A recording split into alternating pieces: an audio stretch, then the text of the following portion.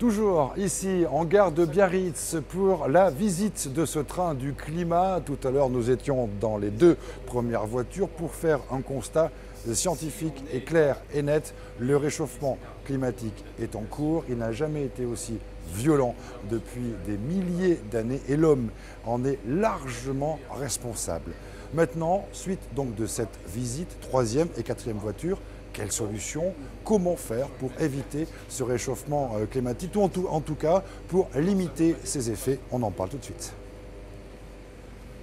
Et c'est Gilles Madelena qui nous accueille dans cette euh, troisième voiture. Alors vous êtes ingénieur en sciences de l'environnement et économiste euh, également.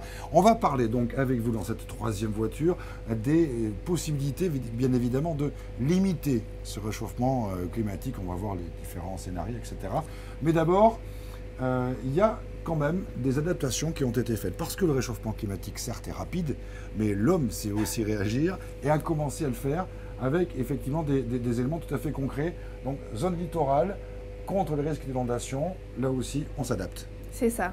Alors en fait l'idée c'est de se dire qu'effectivement ce réchauffement climatique, il faut essayer de le limiter.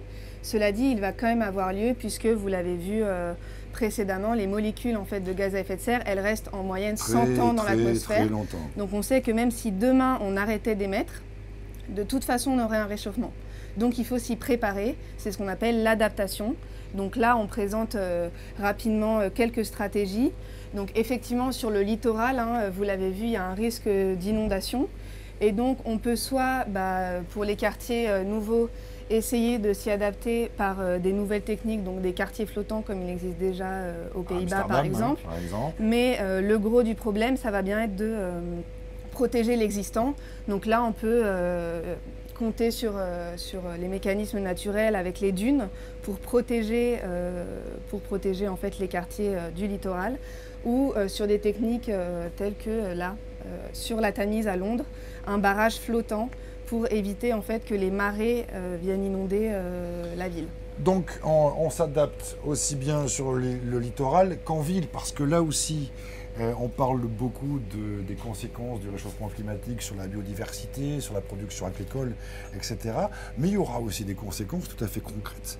En ville, expliquez-nous euh, un, petit peu. Bah, un exemple concret, hein, le scénario du laisser-faire euh, que vous avez vu précédemment, c'est-à-dire si on ne fait rien, une illustration concrète, la canicule de 2003, 15 000 morts, hein, serait un été classique en 2070 à Paris si on ne fait rien si on ne fait rien. Autrement dit, s'il n'y a aucune réaction suffisante. En tout cas, la canicule de 2003, qui a été une canicule absolument terrible, sera un été classique en 2070 à Paris.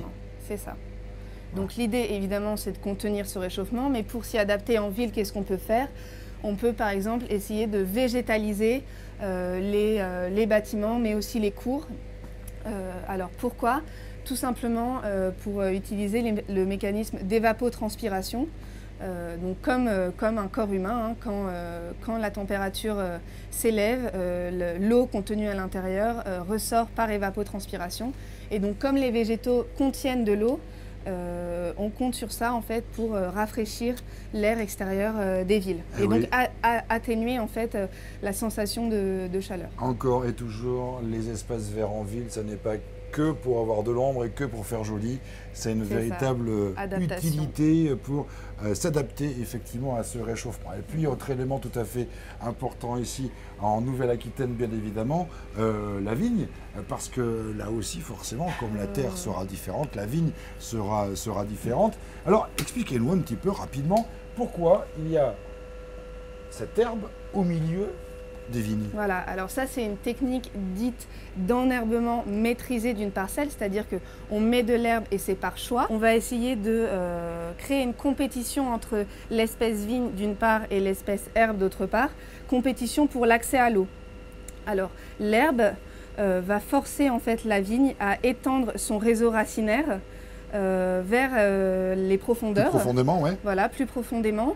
Euh, et donc, euh, au moment d'une sécheresse potentielle, c'est l'eau de surface qui va être euh, menacée. Et donc, c'est l'herbe qui va se retrouver en manque d'eau.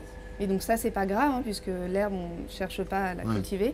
Et la vigne, elle, euh, utilisera l'eau de... Aura déjà, aura déjà adapté ses, racines en ayant, une, en ayant cherché l'eau plus, plus profondément. Donc ça veut dire quand même qu'il existe des solutions, en tout cas, pour, pour s'adapter. Mais bien évidemment, on l'a compris, s'adapter ne suffit pas.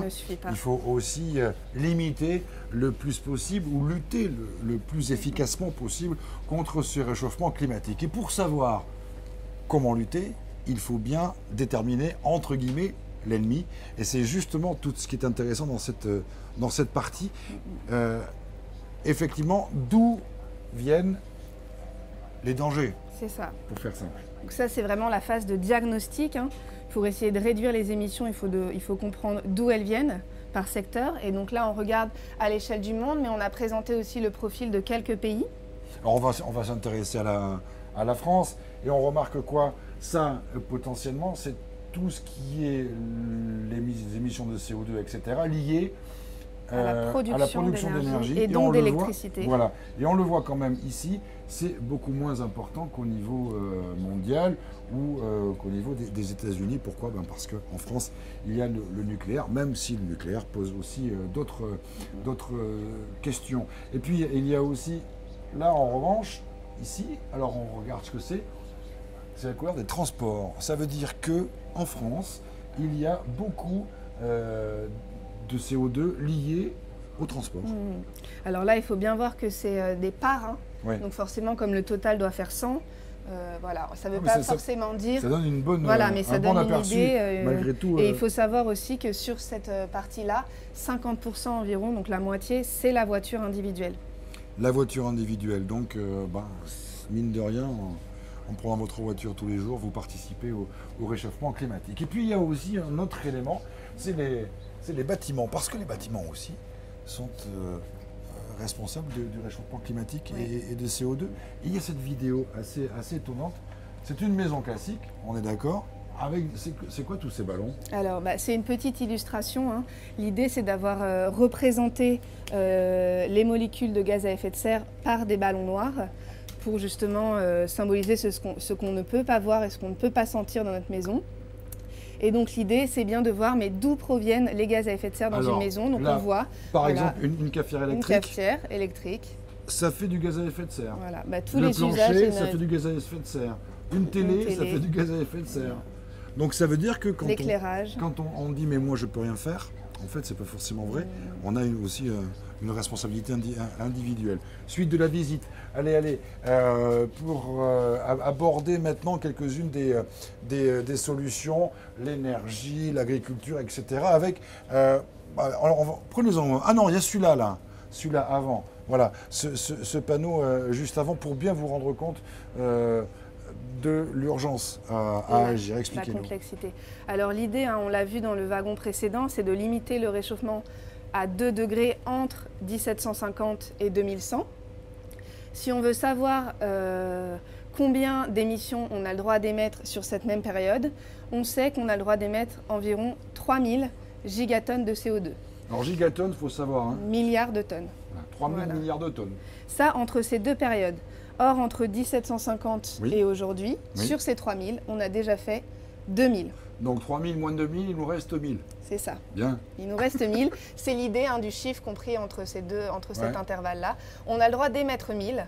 Or, sous forme fossile, c'est-à-dire charbon, gaz, pétrole, sous nos pieds, on a l'équivalent, si on utilisait tout, de 11 000 gigatonnes de CO2. Et on a le droit de mettre 1000, donc il faut comprendre que... Donc ça veut dire euh, qu'il faut limiter le plus possible et rapidement les, les énergies fossiles. C'est ça. Bon. Maintenant, abordons les différents euh, scénarios pour aider à limiter l'émission de gaz à effet de serre. Euh, alors, on va, tiens, favoriser les stockages du carbone. Non, quel est votre préféré là? Vous avez votre préféré? Les énergies renouvelables, tiens, par exemple. Parce qu'on en parle c'est vraiment d'actualité, les énergies renouvelables, même si en Nouvelle-Aquitaine, notamment par rapport aux éoliennes, on n'est pas encore euh, tout à fait à la, hauteur de ce qui peut se faire en, France. Donc, un panneau comme celui-là, qu'est-ce qu'il explique? Alors l'idée ici hein, de cet espace, c'est bien de se saisir des solutions qui sont présentes dans le débat public. Première chose, déjà, des solutions, il en existe. Voilà, ça c'est le premier constat. On en a même présenté 36 ici. Et l'idée, c'est d'avoir une analyse un peu critique et non pas une critique de ces solutions. Alors qu'est-ce qu'on peut dire sur les énergies renouvelables? Elles sont évidemment euh, une pièce indispensable euh, des solutions. oui, parce que si on veut éviter les énergies fossiles, il faut en trouver d'autres. Il faut bien trouver d'autres sources d'énergie. Après, euh, ce qu'il faut se dire ici, et c'est le message un peu principal de cet espace, c'est de se dire qu'on ne peut pas tout miser sur une seule solution, parce que sinon, on va faire que déplacer le problème. Ce qui est intéressant effectivement avec, avec tout cela, c'est de se rendre compte qu'on ne peut pas miser que sur un, élément parce qu'il engendrera d'autres euh, problèmes euh, qui, euh, qui, hmm. effectivement feront que la situation sera aussi tout à fait délicate. Donc l'idée c'est des solutions, il en existe, il faut les, les, mettre en, place les unes avec, avec les autres. De façon à être vraiment efficace. C'est ça l'idée. ça. Les varier et les adapter bien sûr au contexte local. Alors l'avantage, donc on l'a vu, c'est que les solutions, il en existe plein et que on a l'impression maintenant, malgré tout, que la question euh, climatique, du réchauffement de la, planète, de la, défense de l'environnement, est quand même maintenant suffisamment prise en compte pour que ce soit, pour que ce soit devenu une, euh, motivation, j'allais dire, transversale dans, tout, euh, dans tous les domaines. Je, prends cet exemple à titre d'illustration, les questions d'urbanisme. On voit par exemple ici sur ce cercle deux villes qui ont le même nombre d'habitants. Atlanta aux États-Unis d'une part, Barcelone euh, d'autre part en Espagne. Et on voit ici l'emprise sur euh, le, territoire. Voilà. Donc l'idée, c'est que si on se dit que pour limiter par exemple l'usage des voitures, on veut passer à une politique de transport vélo en transport en commun, ça va être plus ou moins facile, voilà, selon le cas. quand on habite à Atlanta, c'est compliqué. voilà, l'idée, c'est que l'urbanisme peut verrouiller parfois euh, le développement de, de certaines solutions. Et donc, comme vous l'avez dit, il faut maintenant que les politiques euh, climatiques soient transversales et structurantes euh, pour tout, un, tout type de décision. Il y a aussi quelques, quelques petits post-it. Alors j'en ai vu un tout à l'heure, tous à bicyclette. Bon, ça, ça fait partie des, idées. J'ai même vu arrêtons de manger du Nutella. Alors ça paraît, ça paraît étonnant, hein, et pourtant non, ça n'est pas aussi entre guillemets idiot que ça, parce que c'est toute la question de l'huile de palme, mm. la déforestation, notamment euh, au Brésil, déforestation mm. très importante, et on le sait, ben, les arbres, ça aide justement à, absorber le, CO2. Donc euh, tout est lié, on, l'a vu, c'est ce qu'on constate à l'occasion de la visite de cette troisième voiture. On va bientôt aller dans la quatrième. Qu'est-ce qu'on va trouver? Alors, dans la quatrième voiture, on va parler euh, des questions de responsabilité des différents pays, d'une part, et ensuite, euh, on va parler des différents lieux de prise de décision, donc l'échelle internationale, européenne pour nous, nationale et locale, bien sûr. On y va